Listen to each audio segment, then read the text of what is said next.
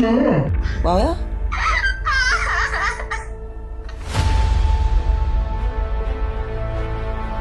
아니 뭔 얘기를 하냐고?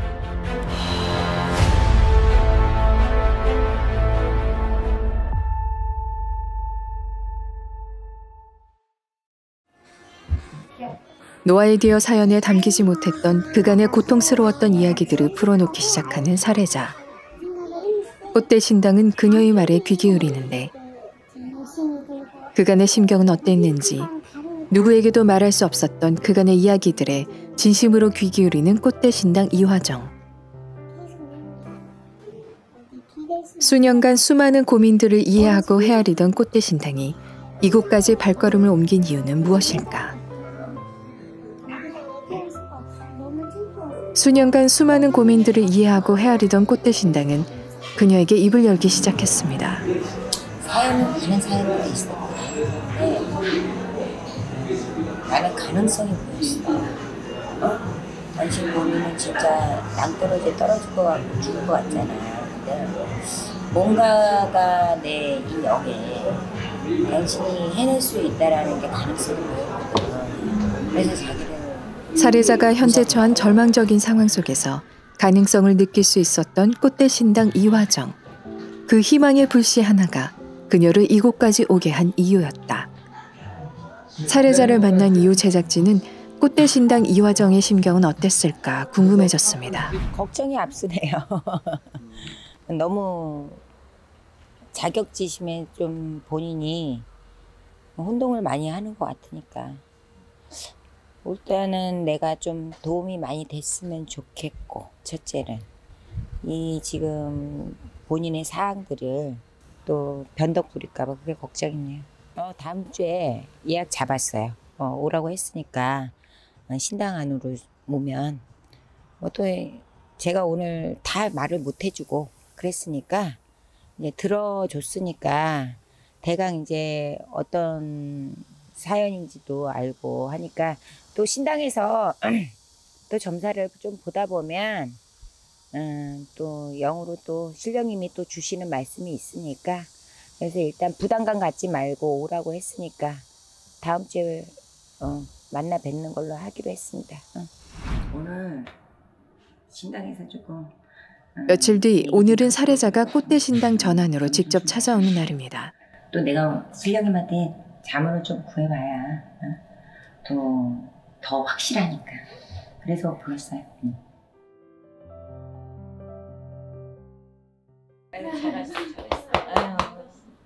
반갑게 살해자를 맞이하는 꽃대 신당 이화정. 점을 보기 전에 전환의 예우를 갖추게 합니다.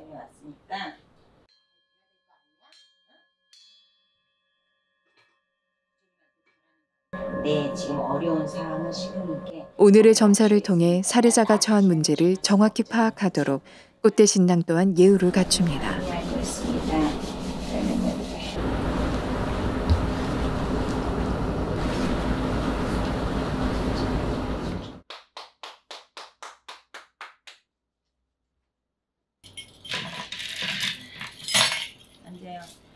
음, 내가 오늘 오라는 이유는 딱 한 가지야. 음, 선생님이 봤을 때는 이건 100% 운에서 너희가 티격이 나는 거야. 어? 어, 운기가 너무 안 좋아. 그리고 당신이 삼재잖아. 삼재다 보니까 더 그러고, 어, 본인이 올해는 사에 걸렸어. 어? 어, 사관에 걸린 게 뭐냐면 1월 월시에 다 본인이 올해는 원진상파에 깨지는 수에 다 당신이 죽으세 그래서 망신수가 들어야 되고 사람들한테 올해는 어, 구설에 휘말려야 되고 그런데 밖에서 본인이 수가 사나우니까 또 아내까지도 이러니까 당신이 더 신랑한테도 마음이 자불한성이 왔다 갔다 왔다 갔다 하는 거야. 응? 안 살고 싶은 마음도 크지만 또 아이를 생각하면 살아야 되겠고 또 본인이 아이를 생각하자니 또 어떻게 보면은 앞이 캄캄할 수도 있지. 지금 본인이 좀 뭔가가 일이 잘 나가고 잘 되면 뭐 위풍당당할 수 있겠지만 그게 안 되니까 음. 더 힘든 거 아닌가 싶다 은희야.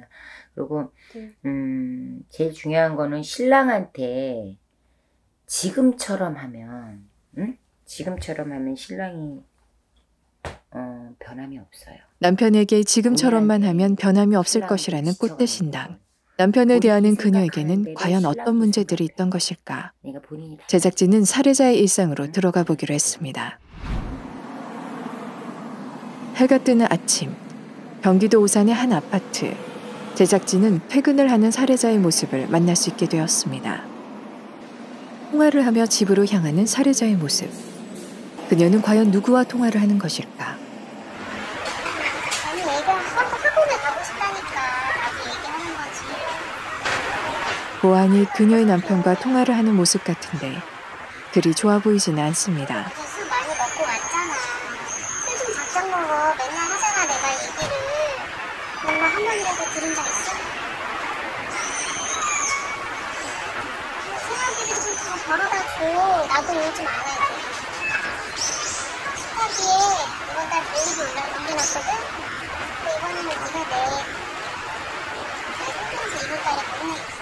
그녀는 아침부터 남편과 말다툼을 합니다.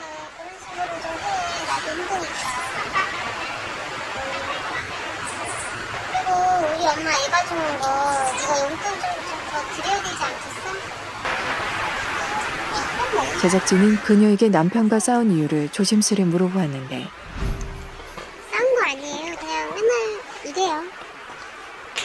생활비를 거의 안 갖다 주니까 오죽하면 일을 하잖아요. 그래서 이번에 필요한 거 관리비 내고 엄마 용돈 드리고 그런 거 얘기했어. 어떻게 해야 될지 사실 잘 모르겠어요. 답답하기만 하고 상황이 내가 생각하는 거대로 되지 않으니까 좀 속상하죠. 아, 그만 얘기해. 아, 하루 이틀 다니고, 너는, 너는 맨날 술 먹잖아. 남편과의 대화가 길어질수록 점점 더 좋지 않은 말만 나오게 되는 살해자의 모습을 발견할 수 있었습니다. 그래? 나는 뭐 일 안 하냐? 내가 맨날 술 먹어? 너네 무슨 했던 얘기 자꾸 시켜. 연하의 남편과의 부부 생활은 상황이 나빠질수록 더더욱 악순환이었다. 많이 벌어다줘야 내가 그런 소리를 안 하지. 너만 고생해? 나도 이러잖아. 살해자와 남편이 그토록 싸우는 이유는 무엇이었을까? 사실 남편이 주는 돈이 되게 적거든요. 그거 애한테 들어가는 거 빼면은 하나도 없어서 관리비를 거의 제가 내왔어요. 이번에는 그 사람한테 내라고 얘기한 거죠. 내가 능력이 안 돼서 못 내겠다. 낼수 있잖아. 그리고 친정엄마가 애 봐주는데 용돈 좀 드리고 해야 되지 않겠어? 그냥 이렇게 입 닦을 거야? 계속 보고만 있을 거야? 남편에게 말하는 살해자의 말투 또한 일반적인 주부의 모습과는 사뭇 다른 모습을 발견할 수 있었습니다. 니네 엄마한테 내가 아까 전화했어. 네가 술 끊는다고 안 했으면 말 안 했을 수도 있어. 술 좀 작작 먹으라고. 어제도 먹었잖아. 내일도 먹을 거잖아. 오늘도 먹을 거네? 학원비를 내야 되니까 얘기를 하는 거 아니야. 생활비가 부족하니까 말을 하는 거 아니야. 아니 네가 좀 제대로 벌어다 줬으면 내가 이러고 있겠어? 아, 어디 밤새 일하는 거 힘들어. 남편과의 갈등이 심해질수록 살해자의 말투는 점점 더 거칠어지기만 했다. 어떡하겠니? 애 학원도 보내야 되는데 학교만 보내? 어? 하고 싶다는 거 좀 시켜줘야 될 거 아니야. 집에 신경을 좀 써. 나만 신경 쓰는 거 같잖아. 내가 아까 전화했어. 이미 돌이킬 수 없을 만큼 금이 가버린 부부간의 문제는 남편과 더불어 살해자에게도 있었음을 알 수 있었습니다. 알았어. 그래서 오늘 몇 시에 들어오는 오늘도?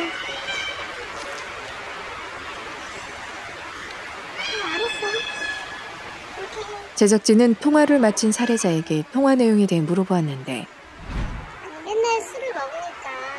근데 오늘도 늦게 들어온다고. 오늘도 술을 먹는 거잖아요. 그렇게 술 안 먹는다 그래갖고 매일 술을 먹으니까 제가 그 얘기를 하는 거죠. 생활비도 얼마 안 갖다 주는데 맨날 그렇게 술 먹고 돈을 있고 어떻게 얘기를 해야 될지 모르겠어요. 너무 남편이 말하는 거랑 하는 행동이 너무 달라서 너무 답답하고 이걸 어떻게 해결해야 될지도 모르겠고 시간이 지날수록 골이 깊어지는 남편과의 갈등은 그녀를 더욱 병들게 하고 있었습니다. 너희 신랑이 보지 못했던 살해자의 일상을 낱낱이 일러주는 꽃대 신당. 관심을 많이 받고 관대를 받는 거에 대해서 네가 집에다가는 지치고 못 해주니까 그게 울분에 네가 더 그러는 것 같은데 네 신랑은 음, 사주의 이 인복과 인덕이 타고난 사람이야. 이런 식으로 가면은 여자 있을 수밖에 없죠 밖에. 근데 저는 신랑을 신랑이 다시 좋은 가정을 네가 네가 네가 마음을 표현을 조금 해 그냥 솔직하게 해야 되는데 신랑한테 마음을 내보이지는 않으면서 마치 위풍당당한 것처럼 네가 자존심만 내니까 살해자는 삑사리가 나고 그저 눈물만 흘릴 뿐입니다. 근데 애랑도 살아야 되고 너도 다 생각을 할 거 아니니. 그 아빠 없는 빈자리를 네가 다 감당하면서 일하면서 돈 벌면서 네가 다 할 수 있어. 지금도 시어머니가 키워주고 어 친정 엄마가 왔다 갔다 하면서 키워준다며. 응? 당장 이제 내년에는 학교에 들어가면 또 부모가 해줘야 될 부분이 있어요. 선생님도 그런 거를 응? 살아봤기 때문에 선생님 된장, 고추장, 간장 다 먹어봤거든. 찌들어 봤거든. 그렇기 때문에 어, 오늘 이 선생님하고 인연을 헛되이 네가 가지면 안 되고 그냥 반신반하는데 신령님이 너를 도와줄 수는 없어. 이미 일그러져 버린 부부간의 관계를 놓아버릴 수도 없는 상황인 살해자. 꽃대 신당 이화정은 현재 처한 상황을 잘 이겨내는 방법이 결국 신에 대한 간절함이라 말합니다. 이 순환에 너희가 지금 악순환에 들어온 거는 네 신랑이 바람이 잘 것이고 마음이 잘 어, 가정으로 돌아오고 아이한테도 예전과 달리 정말 너의 눈빛 보고 너의 생각 보고 지금 엇나가는 거고 또 너도 그러지 말아야지 하면서 또 막상 신랑한테 다가가려고 하면은 그게 아니라 엉뚱하게 가잖아. 살해자가 처한 실질적인 상황까지 고려를 하지 않을 수 없었는데. 어? 힘든 가정 생활과 그러니까 남편과의 관계를 이제 와서 끝낼 어? 수 있는 것 또한 아니었습니다. 요 시간을 잘 견뎌서 어? 잘 살아야 될 거 아니니 네 신랑 너한테 돌아올 수 있어 선생님 믿어 그러니까 너도 믿어 불안해하지 말고 음, 그러니까 조금 힘을 내자 그냥 응? 살해자를 격리한 후 오반기를 건네는 꽃대 신당. 오반기를 통해 어떤 깃발이 뽑히게 될까? 사람 관계 개선도 힘들고 야, 가능성이 있다는 된다지? 꽃대 신당의 직감이 틀리지 않았습니다. 오반기 또한 좋은 기가 나왔는데 한다고 했으니까 어? 응, 선생님 믿어 응. 선생님이 믿으라는 게 아니라 신령님이 믿, 믿읍시다 알았죠? 음, 너무 감사해요. 그렇게 꽃대 신당의 따뜻한 격려와 새로운 희망을 찾을 수 있다는 결과로 점사가 마무리되었습니다. 사실 검사 보기 전까지는 너무 답답하고 너무 힘들었던 마음 무겁게 갔었는데 좋다고 해주시니까 된다고 해주시니까 정말 믿음이 가고 마음속에 무거웠던 짐이 좀 많이 사라졌어요. 이제 좀 한결 웃을 수 있는 것 같아요. 오늘 은희 씨를 만나게 된 동기는 제가 어, 며칠 전에 또 커피숍에서 봤잖아. 근데 왜 오라고 했냐면 어, 물론 이제 그날 보고 내가 어느 정도 사연을 듣고 감지를 했지만 그래도 또 내가 어, 실수하면 안 되니까 어, 더 신당한 원당에 구- 어, 들어서서 신령님께 정말 어, 좋은 힘이 돼달라고 인물 타령 좀 하라고 어, 오라고 했어요. 그래서 왔는데 역시나 어, 내가 또 기도를 받아본 답을 얻은 게 있지만 어, 본인이 많이 흔들림이 많았는데 그래도 흔쾌히 또 어, 많이 믿고 따라와 줄 수 있다라는 어, 어, 나에 대한 무당에 대한 거를 믿는 게 아니라 신령님을 믿어야 되는데 그렇지 않아요? 사람들이 좀 반신반할까봐 보통 다 그러잖아요. 그래서 그런 것 때문에 내가 오늘 보자고 했는데 아, 많이 희망을 얻고 가니까 나도 기쁘네. 내가 열심히 더 해서 어, 위기를 조금 많이 힘이 되고 싶습니다. 집으로 향하는 길. 잠시 멈춘 차의 뒷좌석에서 통화를 하는 사례자를 볼 수 있었습니다. 네, 어머니. 아니, 오늘도, 아니, 오늘도 술 먹는다고 그래가지고. 보안이 시어머니와의 통화. 제 말은 안 들어요. 아시죠? 분위기가 그리 좋아 보이진 않습니다. 어머님이 얘기 좀 해주시면 안 돼요? 그냥 술 먹지 말라고 그냥. 그래도 저보다는 어머니 말을 듣겠죠. 개선되지 않는 남편의 모습을 시어머니에게도 이야기하는 모양입니다. 맨날 술 먹고 늦게 들어오고 하니까 제가 그거를 좀 어머니한테 얘기를 좀 해달라고. 근데 어머니도 그런 얘기하는 거 별로 안 좋아하시는 것 같아가지고 이번엔 해주시겠죠. 친정 엄마가 봐주고 있기 때문에 또 제가 시간이 뭐 많진 않잖아요. 일을 해서 또 남편이랑 맞추기도 어렵고 해서 아이를 시어머니한테 보내는 그, 그 시간도 없는 것 같아요. 그래서 자주 가끔 친정엄마가 일이 있어가지고 애를 못볼때 그때 시어머니가 아이를 봐주세요. 그러면은 제가 일요일쯤, 일요일쯤, 네. 음,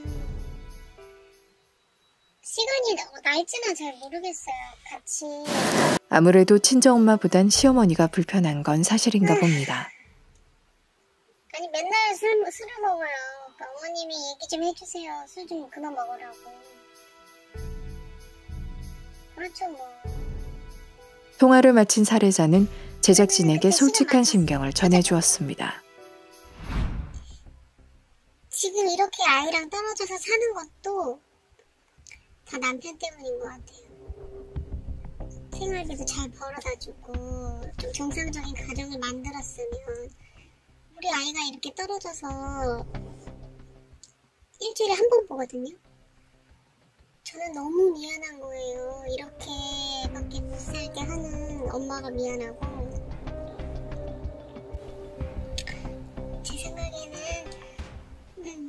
남편만 정신 차리면 정상적인 가정으로 다시 아이 키우면서 잘 살지 않을까 싶어요.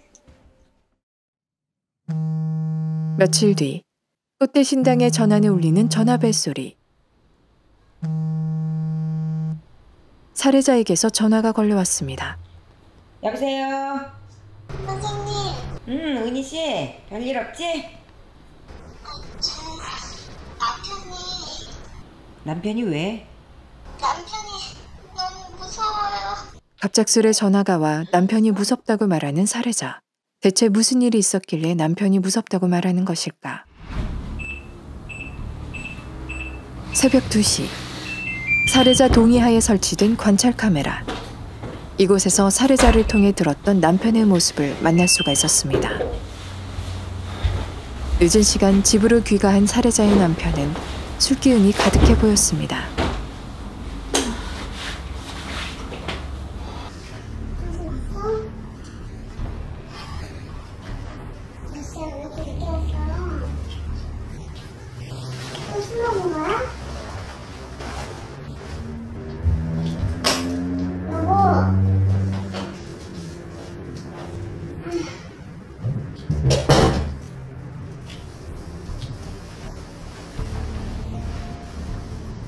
남편의 옷가지를 정리하는 사례자.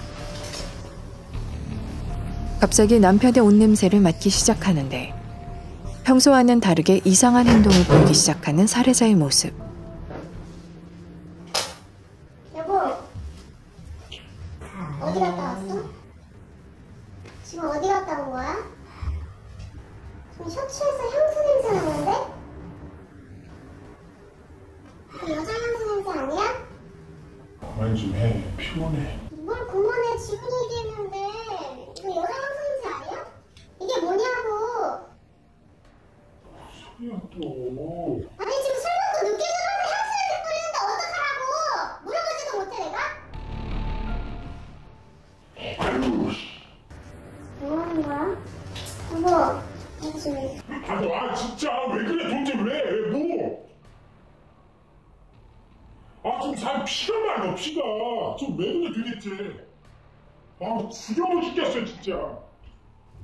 골이 깊어진 부부간의 갈등 속에 남편은 포악한 모습으로 변해 있었습니다. 살해자와 전화를 끝낸 꽃대 신당. 갑자기 어디론가 향하는데